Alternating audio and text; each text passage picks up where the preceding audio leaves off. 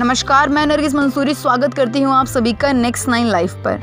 जैसा कि आप सभी को पता है, आर्यन खान को जब से हिरासत में लिया गया, जब से उन्हें जेल हुई है, तब से बहुत सारी सेलिब्रिटीज़ है बॉलीवुड के, जो उनके सपोर्ट में नज़र आ रहे हैं। सबसे तो पहले बात करना चाहेंगे सलमान खान के बारे में।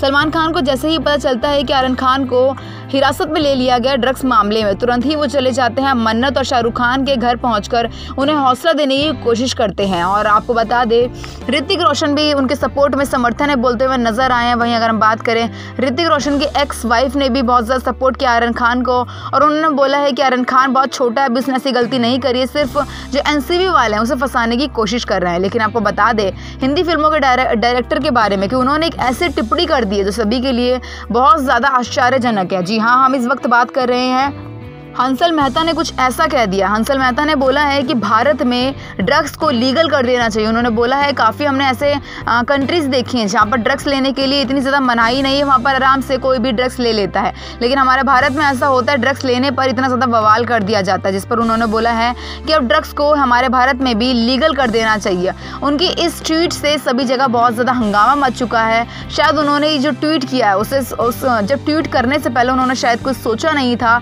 जो उन्होंने ऐसे ही कर दिया लेकिन उनके इस ट्वीट ने सभी में बहुत ज़्यादा तहलका और बवाल मचा कर रख दिया और सभी लोग इनको बोल रहे हैं कि आपने ये बहुत ज़्यादा गलत बोला है, जिस तरीके से नशे पे पाबंदी लगाई गई है। और नशे की वजह से बहुत सारे जो बच्चे हैं, जो टीनेजर्स हैं, बहुत ज़्यादा लत उन्हें लग जाते हैं बहुत ज़्यादा गलत काम कर देते इसकी वजह से यहाँ पर ड्रग्स लेने के लिए मनाही की गई लेकिन उन्होंने जब बोला कि लीगल कर देना चाहिए, उन्हें बहुत ज़्यादा ट्रोल भी किया जा रहा है।